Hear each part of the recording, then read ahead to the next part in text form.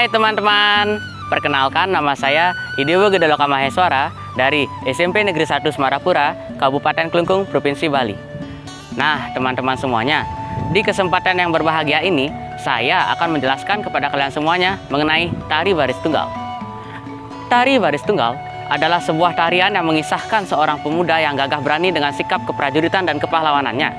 Tarian ini menceritakan seorang pemuda yang sedang meninjau daerah kekuasaan ayahnya yang suatu saat nanti akan dipimpinnya. Tarian ini disusun koreografinya dan dipentaskan pertama kalinya pada tahun 1932. Tujuannya adalah untuk melindungi eksploitasi dari orang-orang asing yang mulai berdatangan ke Pulau Bali. Tarian ini sering dipertontonkan. Dalam pementasannya dibagi menjadi tiga babak. Yang pertama ada babak pepason, yang kedua ada babak pelayon, dan yang terakhir ada babak pekad. Nah, tentu saja dalam sebuah tarian tentu ada musik yang mengiringinya. Musik yang mengiringinya dibagi menjadi tiga juga.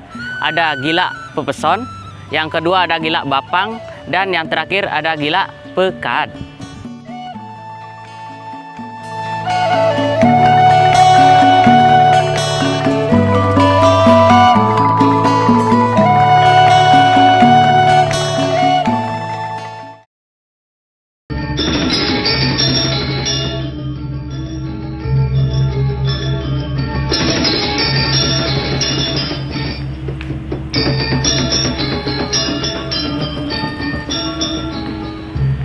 Baiklah teman-teman sekalian, sekarang saya dan teman saya akan memperkenalkan kepada kalian semuanya mengenai atribut-atribut yang digunakan dalam tari baris tunggal.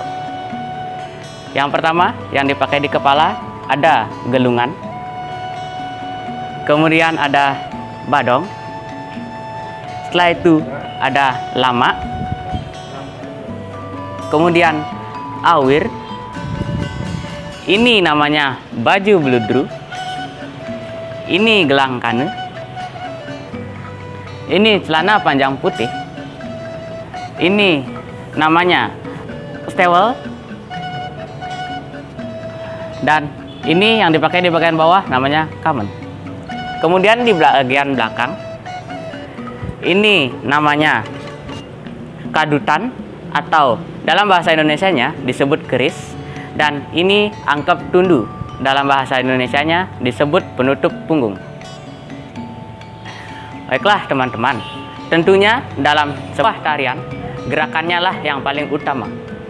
Jadi sekarang saya dan teman saya juga akan memperkenalkan kepada kalian semuanya mengenai ragam gerak dalam tarian baris tunggal. Yang pertama, ada ragam gerak berjalan. Lalu ada ragam gerak agam. Kemudian ada ragam gerak megang gelang.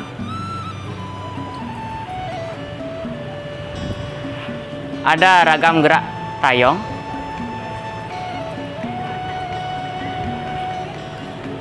Ada ragam gerak muka buka pintu.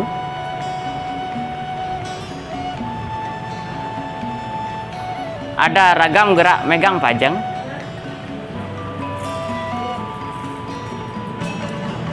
Nah, teman-teman sekalian, dari semua gerakannya itu tentu saja memenuhi empat unsur. Yang pertama ada unsur agam, yaitu gerakan pokok seorang penari.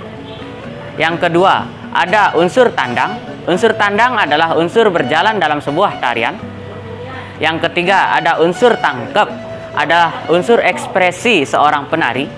Dan yang terakhir ada unsur tangkis. Unsur tangkis adalah perpindahan gerakan dari yang gerakan pertama ke gerakan yang lainnya.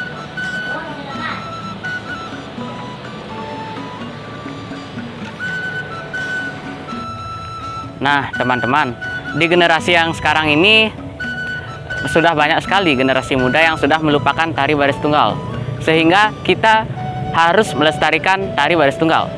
Adapun cara-cara melestarikannya yaitu yang pertama, kita harus mengajarkan kepada generasi milenial mengenai tari baris tunggal.